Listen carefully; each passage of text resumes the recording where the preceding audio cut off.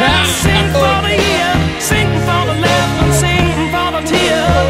Sing with just for today. tomorrow.